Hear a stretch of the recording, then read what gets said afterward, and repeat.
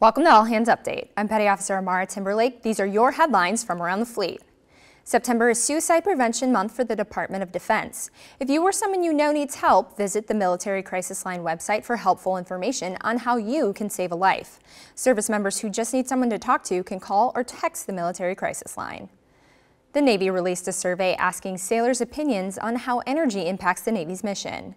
Survey results will be used to guide planning efforts within the Department of the Navy's energy program. The survey is part of an ongoing plan laid out by SECNAV in 2009 to improve the Navy's energy security and efficiency. With the help of the survey, the energy program has achieved several of SECNAV's energy goals. For more information on the Department of the Navy's energy program, visit their website.